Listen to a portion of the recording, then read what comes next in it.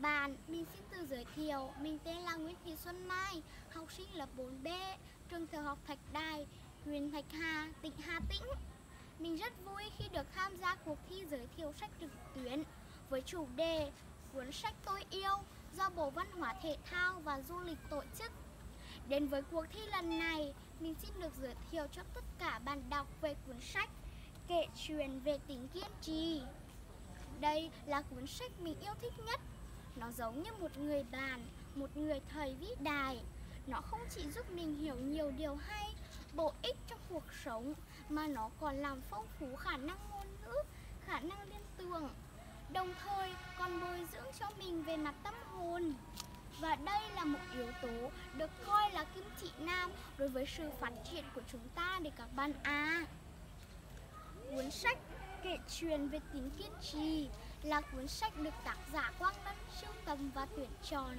Do nhà xuất bản Dân Trí xuất bản in trên khổ giấy 13 x 20,5 Cuốn sách gồm những mẫu chuyện nhỏ Mỗi câu chuyện là một bài học hay giúp và quý báu giúp chúng ta hiểu thêm về cuộc sống.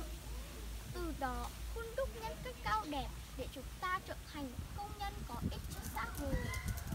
Trong rất nhiều những mẫu chuyện nhỏ có trong cuốn sách này, thì mình xin được giới thiệu cho tất cả bạn đọc một cuốn sách, một câu chuyện mà mình thấy rất tâm đắc.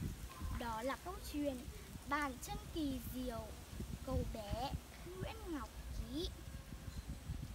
Ký bị liệt hai cánh tay từ nhỏ, thấy các bạn được cấp sách đến trường ký thèm lắm em quyết định đến lớp xin vào học.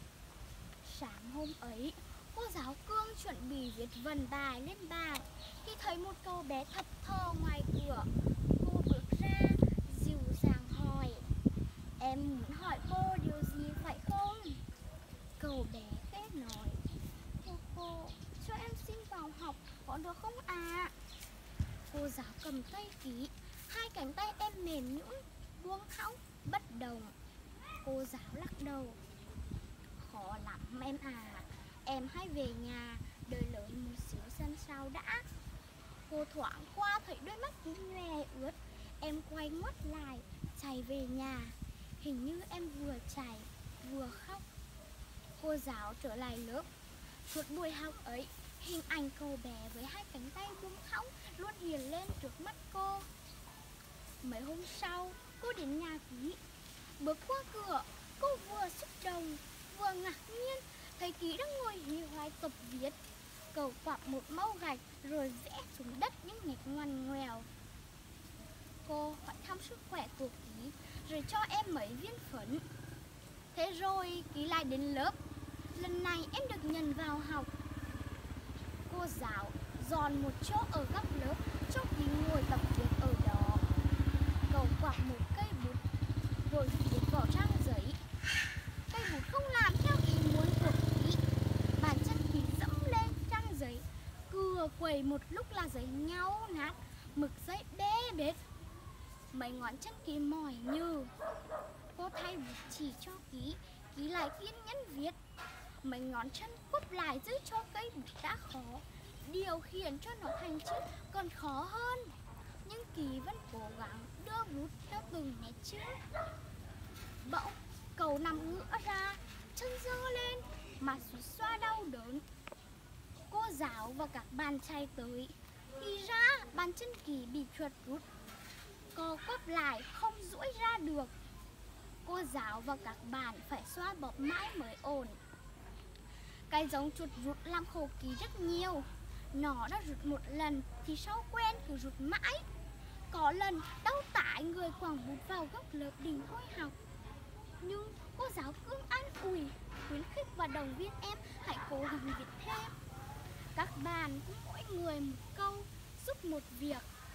Lời khuyến khích dịu dàng của cô những cử chỉ thân thương của bạn bè đã tiếp thêm động lực cho ký. Ký lại quắp vào ngón chân, hì hục tập viết. Ký kiên nhẫn, bền bỉ ngày nắng cũng như ngày mưa người mệt mỏi mấy ngón chân đau nhức có lúc bị chuột rút liên hồi nhưng ký vẫn không nản lòng buổi học nào cũng vậy trong góc lớp bên mảnh chiếu nhỏ không bao giờ vắng mặt Nguyễn Ngọc Ký. Nhờ kiên trì tập luyện, Ký đã thành công. Hết lớp 1, Ký đã đuổi theo cả bạn. Chữ Ký bây giờ đã đẹp hơn, đều hơn. Có lúc Ký được 8 điểm, 9 điểm, 10 điểm về môn tập viết. Bao năm khổ luyện, thế rồi kỳ thi đại học cũng đến. Nguyễn Ngọc Ý trở thành sinh viên trường đại học tổng hợp, rồi trở thành nhà giáo. Nguyễn Ngọc Ý là tấm gương sáng về ý chí vượt khó. Bác Hồ đã hai lần tặng huy hiệu cho cậu học trò giàu nghị lực và dũng cảm ấy.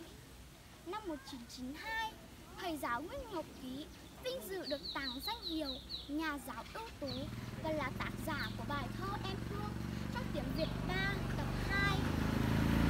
Các bạn thân mến, vừa rồi mình đã chia sẻ cho các bạn một câu chuyện trong những rất nhiều câu chuyện có trong cuốn sách này. Và qua đây chúng ta hiểu được rằng Kiên trì là một đức tính quý báu của con người mà mỗi chúng ta cần rèn giũa và phát huy. Và qua đây, cuốn sách này cũng muốn gửi tới cho chúng ta một thông điệp.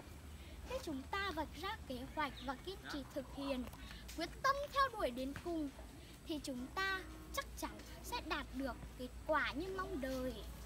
Các bạn à, còn rất nhiều và rất nhiều câu chuyện có trong cuốn sách này nữa mà các bạn hãy tiếp tục tìm cuốn sách này để biết thêm nhiều câu chuyện thú vị nữa nhé. Xin cảm ơn các bạn đã lắng nghe phần giới thiệu của mình. Xin chúc các bạn luôn luôn vui vẻ, mạnh khỏe, hạnh phúc và bình an. Xin chào và hẹn gặp lại các bạn.